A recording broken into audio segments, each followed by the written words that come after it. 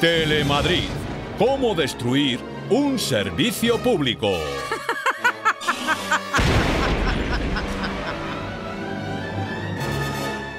Año 2003. Esperanza Aguirre llega al poder. Ya en su ideario estaba privatizar. En este caso, Telemadrid. Pero la ley no se lo permitía. Así que montó su chiringuito, con el único fin de darse autobombo, despilfarrando el dinero de todos en beneficio de sus amiguetes. Y nos han dado el carnet de manipuladores. Chati, no sabéis lo bien que cocina mi Soriano la realidad. Con su gestión, por no decir indigestión, infinidad de moscones llegaron a Telemadrid al olor del dinero público, contribuyendo al desfalco y la pérdida de credibilidad de la cadena de la siguiente manera. Los directivos.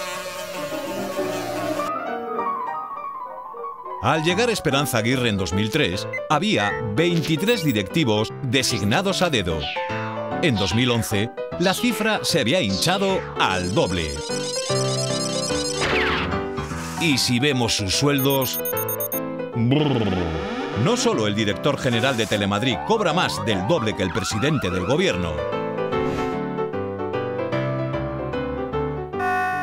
El resto de directivos también sobrepasa con creces dicho sueldo e incluso el de Esperanza Aguirre.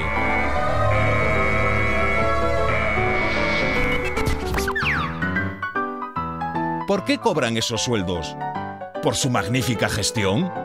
Si desde 2003 han conseguido que la audiencia se desplome, los ingresos por publicidad se hayan reducido a un tercio y el déficit de la empresa se haya triplicado, quiere decir que su gestión ha sido una auténtica mierda. Entonces, ¿por qué siguen los mismos cobrando esos sueldos? ¿Será que manipular y controlar la información sale muy caro? Expedientes X.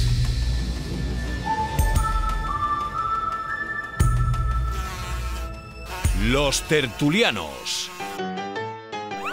Uno de los factores que han contribuido al desplome de la audiencia es la falta de pluralidad y una información sesgada.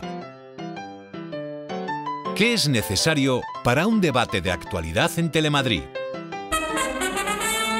Una moderadora plural, objetiva, amante de la verdad, grata. Amable. Con sentido del humor. Resolutiva. Unos periodistas de raza de medios de comunicación que van de la derecha a la ultraderecha. Y... ¡Carnaza! La emisión de estas imágenes podría herir su sensibilidad. Y si creen que cada tertuliano cobra pienso por lamer la mano de su amo, están equivocados.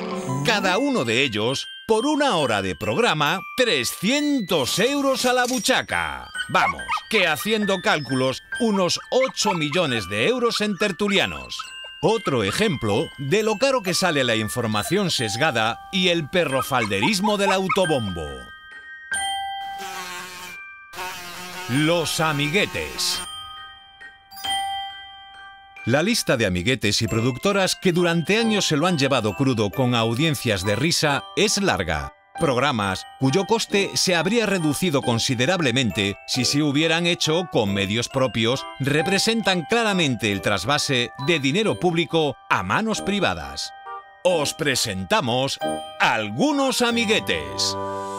Saez de Buruaga, el hombre de la productora amiga, que con New Atlantis y en tan solo cuatro años facturó a Telemadrid nada más y nada menos que 10 millones de euros. Todo un campeón. Así son las cosas y así se las hemos contado. Sánchez Dragó, el hombre que se lo llevaba crudo. Por cuatro programas de Dragolandia y por sus noches blancas a 6.000 euros por cada programa, se estiman embolsados unos 3 millones de euros. mi elixir de la eterna juventud. Garci, el cineasta preferido, a quien Aguirre encargó la película Sangre de Mayo para conmemorar las fiestas de la comunidad ¿Y de dónde salieron los 15 millones que costó siendo un encargo de la lideresa? De las arcas endeudadas de Telemadrid. ¡Vuelve a empezar! Especial para un hombre que pasa desapercibido, aunque sus negocios no. Enrique Cerezo, el superamiguete que ha conseguido la gestión publicitaria de Telemadrid a través de Multipark, propietario de los derechos de muchas películas que emite la cadena. Y más, los derechos televisivos de su club de fútbol por 230 millones de euros. Curiosa cifra. La deuda actual de Telemadrid. ¿Negocios privados con dinero público? La redacción paralela. El lado oscuro de Telemadrid. Todo comenzó con la designación a dedo de Agustín de Grado como director de informativos de Telemadrid. Aprendiz de Goebbels, se ha dedicado en estos años a casi duplicar el número de personal en la redacción de informativos. Se hacen llamar el lado oscuro. Su misión, controlar y manipular la información, lo que ha conllevado la pérdida de credibilidad, pluralidad y audiencia de la cadena pública. Basado en hechos reales. Aquí la selección española de fútbol es la rojigualda. Nada de la roja. Comunícalo en redacción.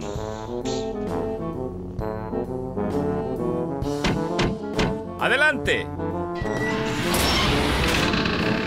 Hombre, Borjita, ¿ya has firmado? Sí. Bueno, pues a tu puesto. Ya sabes lo que tienes que hacer. Y siente el poder del lado oscuro. Si sentir, creo que siento algo, pero creo que es dolor de cabeza.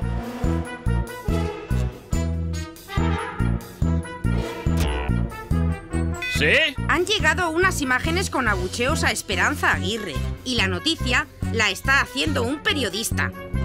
¡No! Cinco segundos después, No se pueden meter los abucheos a la presidenta. Pero... si es la noticia del día. Te digo que los quites. Pues si me obligas a quitar los abucheos, no firmo la noticia. Me parece que no vas a firmar más noticias para los informativos. Señor de grado, ya ha quitado los abucheos a la presidenta. Muy bien, Borjita. Eso es lo que necesita el lado oscuro. Te nombro coordinador. En resumen, Esperanza Aguirre y los suyos han tomado la radiotelevisión de todos los madrileños, despojándonos de su servicio público para utilizarla como su altavoz de propaganda, manipulando la información siempre en su favor y premiando con el dinero de todos a sus fieles y arrimados. De esta forma, la sociedad madrileña ha dejado de verse reflejada en su televisión. No somos la suma de todos. La estrella ya no eres tú.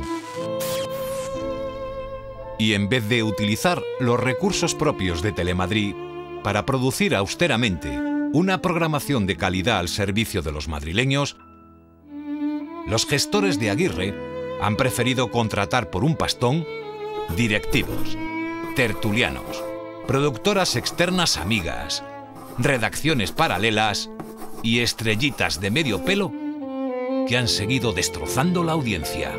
Y eso solo tiene un nombre, despilfarro.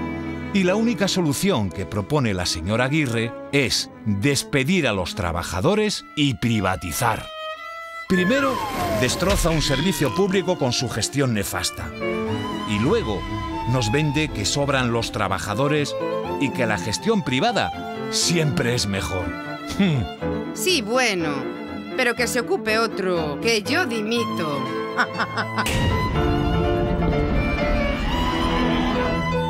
¿Y al regente? ¿Se le ocurre otra solución? Hacer un ERE o si no, cerrarla.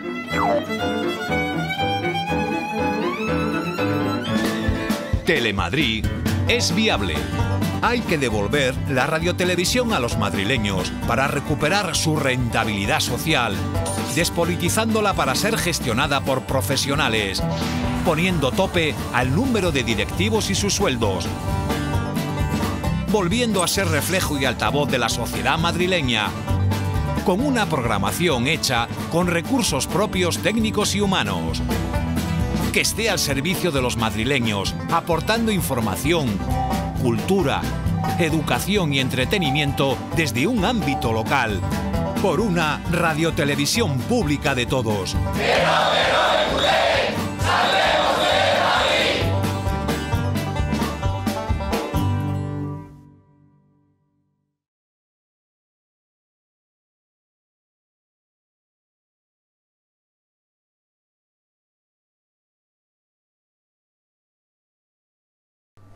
Desde el corazón de Vallecas, Teleca, todo por la causa. Acabo de ver un buen ejemplo, un vídeo de cómo es posible destruir un servicio público, Telemadrid. Para hablarnos de esto y de más cosas y del ERE, que eh, ayer hay una nueva sentencia que lo considera improcedente, pero al no declarar la nulidad va a llevar a que los 800 trabajadores que estaban despedidos sigan en esa situación. Está con nosotros Angelito, tengo que mirar aquí el nombre, Ángel García, somos amigos y compañeros desde hace mucho tiempo, es trabajador de Telemadrid, y eh, Jorge Pradera, también trabajador de Telemadrid. Bueno, contaron la primera sensación a las pocas horas de el auto del Tribunal, eh, del Tribunal Supremo sobre el ERE de Telemadrid. ¿En qué situación deja a los trabajadores? Bueno, vamos a ver, eh, la sensación es agridulce. es cierto que es una victoria jurídica porque el gobierno de la Comunidad de Madrid, Ignacio González, Salvador Victoria, la dirección de Telemadrid, ellos pedían el, que el ERE fuera considerado procedente. El ERE ha salido considerado por el Tribunal Supremo improcedente. Luego es absolutamente absurdo que salga el señor Ignacio González, salga el señor Salvador Victoria diciendo que hemos ganado. No, han perdido los trabajadores de Telemadrid y han perdido los ciudadanos de Madrid, que son los que van a correr con los cerca de 40 millones de euros más que se van a pagar de indemnizaciones. No lo va a pagar Ignacio González ni los va a pagar Salvador Victoria, lo van a pagar los ciudadanos de Madrid. Y los 861 trabajadores que despidieron van a seguir en la calle. Si es verdad que se reconoce que eh, el ERE es ilegal. el Tribunal Supremo nos viene a decir que eh, la Comunidad de Madrid, el señor Ignacio González, ha cometido una ilegalidad, pero bueno, se compensa con dinero.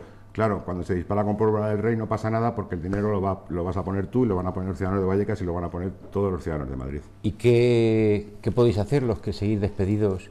Eh, ¿Se puede seguir recurriendo a la legalidad? Porque desde el punto de vista del sentido que tiene el PP y el gobierno de lo que es una televisión pública, parece ser que no hay mucho futuro en cuanto a vuestro futuro laboral. ¿Qué posibilidades tenéis? Bueno, pues ahora lo que hay que esperar, digamos, es a, ver la sentencia, ¿no? Todavía no ha sido publicada. Ayer lo que hizo el Tribunal Supremo fue sacar una nota de prensa, pero realmente el contenido de la, de la sentencia no lo sabemos, ni ha sido comunicada ni ha sido publicada. Entonces, bueno, tenemos que esperar.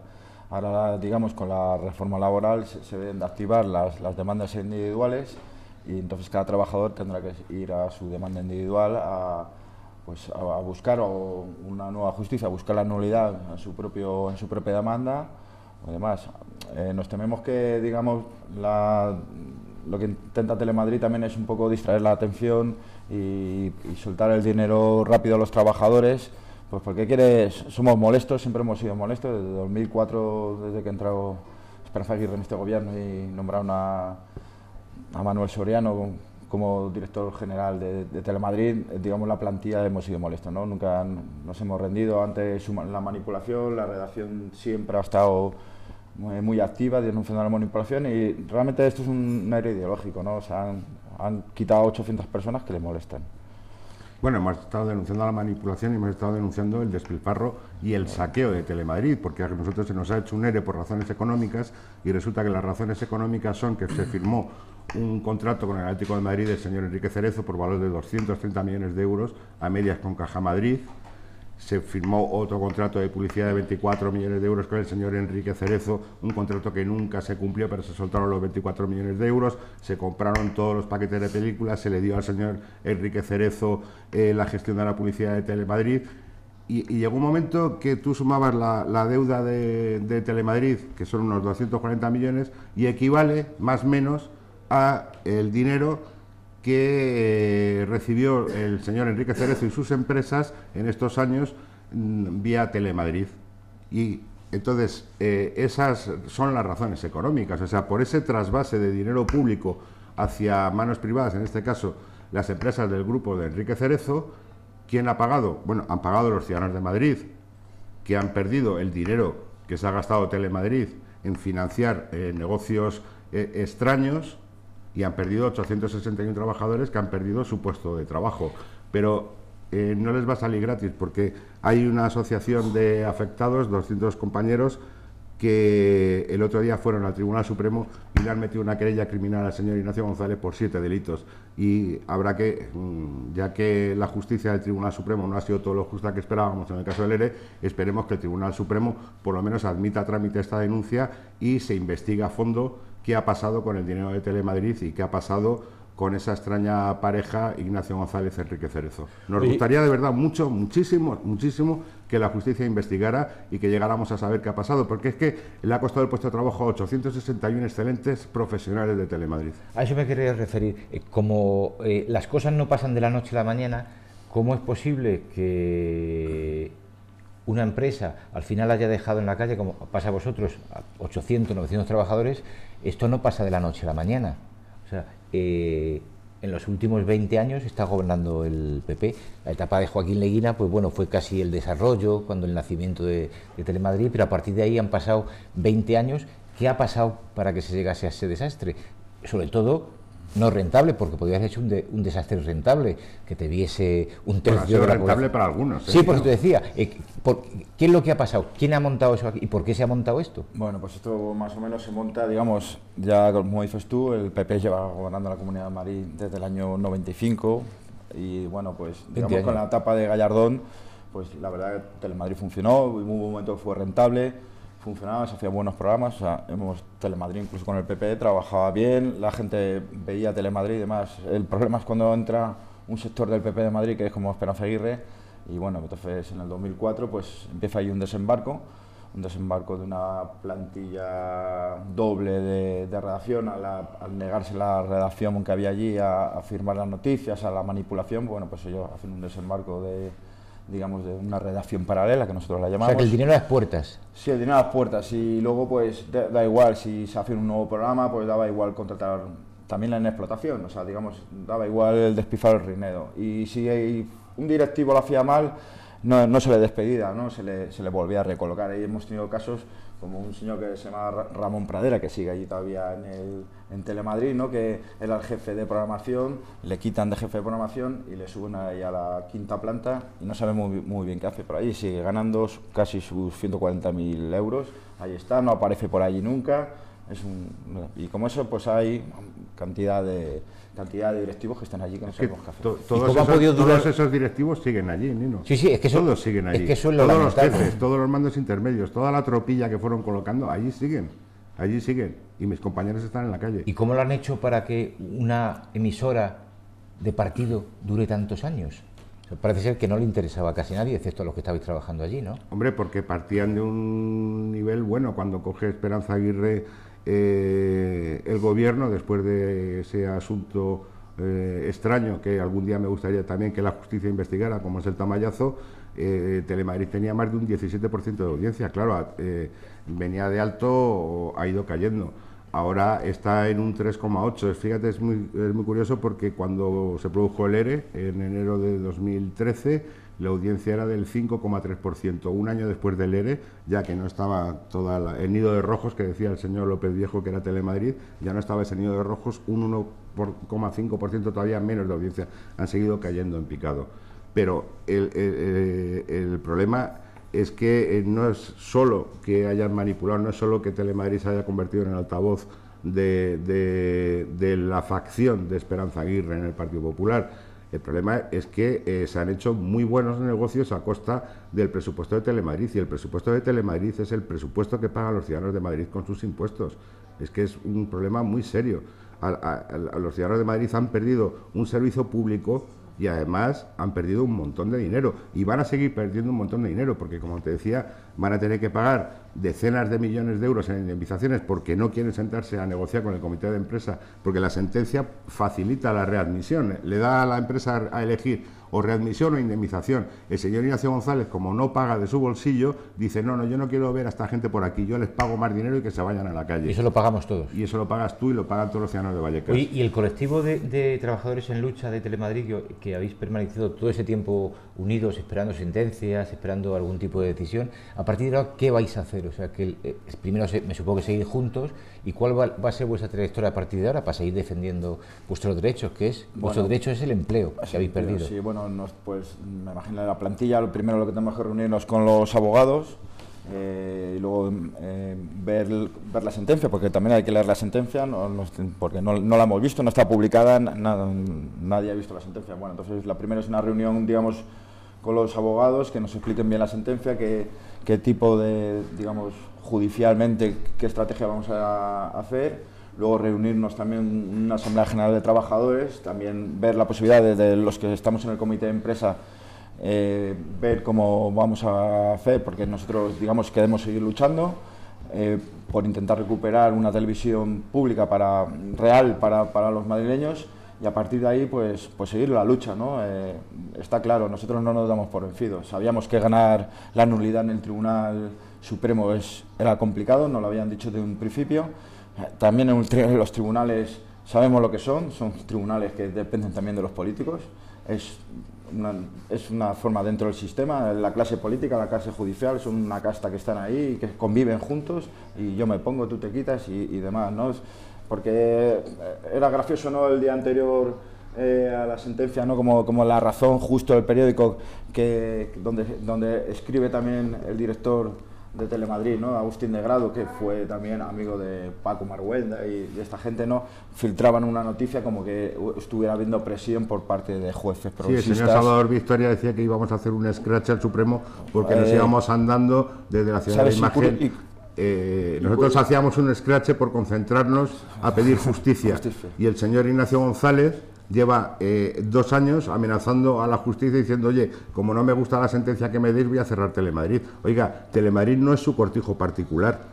Ni los sindicatos cierran Telemadrid, ni los jueces cierran Telemadrid, como los medios de comunicación eh, grandes han estado diciendo que eh, en manos del Tribunal Supremo está el cierre de Telemadrid. No, señor.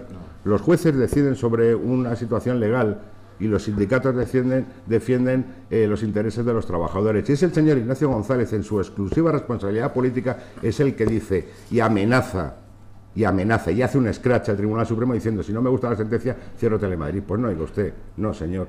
Telemadrid no es su cortijo. ¿Y qué es lo que vamos a hacer? Pues mira, hemos estado eh, manifestándonos con el sindicato de estudiantes. Vamos a ir a, un acto público en defensa de las libertades que organiza eh, la plataforma contra la criminalización de la, de la protesta social.